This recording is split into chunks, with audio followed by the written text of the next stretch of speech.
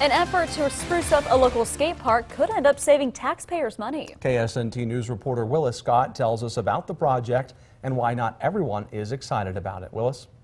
Jason Brooke, this is the second year for the Arts Connect Paint Day at Ripon Park. It was supposed to happen today, but was put off until tomorrow because of the wind.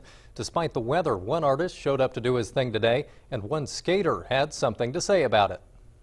From the time his kids could walk, Chad Barker would take them to the skate park. Now they're grown, and he wants to give something back to the park. I'm doing this um, tattered banner uh, with Live, Skate, Die. It's the name of a local skate organization. He also painted their name in the Arts Connect Paint Day last year. Arts Connect Executive Director Sarah Fizell started the project with the goal of making the park look better. We took a little bit of a gamble and told Parks and Rec that we thought that if they were to stop covering up all the graffiti, that the graffiti that would stay would be better quality.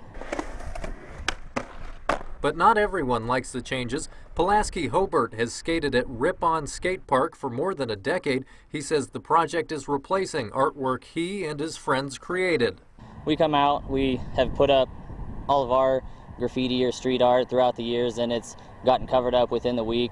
While he agrees with covering up obscenities, Hobart thinks the Parks Department and Arts Connect should leave other graffiti in its place. Art is objective and everybody has their own version of what art is, so just because one particular person doesn't like a piece doesn't mean it should be covered. Fizell says while they've received enthusiastic support from some in the skating community, she doesn't want to step on anyone's toes. Our intentions are authentic and we are happy to do things differently if what we try the first time doesn't work. Barker hopes his work will be welcomed by the skaters at Ripon.